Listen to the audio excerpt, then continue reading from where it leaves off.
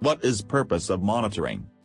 The purposes of trial monitoring are to verify that, the rights and well-being of human subjects are protected, the reported trial data are accurate, complete, and verifiable from source document, the conduct of the trial is in compliance with the currently approved protocol-slash amendments, with GCP, and with the applicable regulatory requirements. Let us learn ICH GCP definition for monitoring, monitoring report and monitoring plan. Monitoring, is the act of overseeing the progress of a clinical trial, and of ensuring that it is conducted, recorded, and reported in accordance with the protocol, standard operating procedures, good clinical practice, and the applicable regulatory requirements.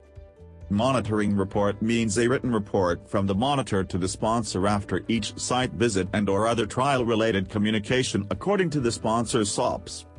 Monitoring plan is a document that describes the strategy, methods, responsibilities, and requirements for monitoring the trial.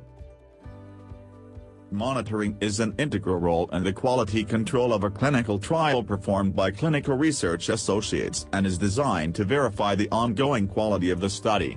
All clinical trials sponsored or co-sponsored by one or more of the partner organizations will be monitored as described in this SOP.